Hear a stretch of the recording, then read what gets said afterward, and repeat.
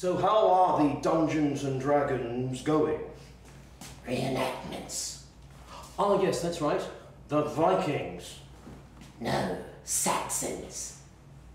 We kill Vikings. Right. Oh, yes. Right. Good. Um. So how are you, Peter? Um. Busy? Well, this is a hospital after all. Why have you missed your last two appointments? I've been working lots of extra shifts. Well, you shouldn't be working at all. I want to go to Scandinavia. Well, the only way that's going to happen is if you take the treatments. Says who? Well, me, the doctor. Okay. I'll see when I can squeeze you in.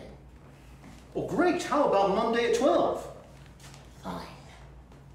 Good. Well, I have to say, Peter, the voice sounds great since we got the tumour out. Okay, it's uh, breathy and husky, but you know what? It could be worse. Oh, really? How much worse could it possibly be? Well, you could be mute. Right, well, I've got a lot of patients to see, so I better skedaddle.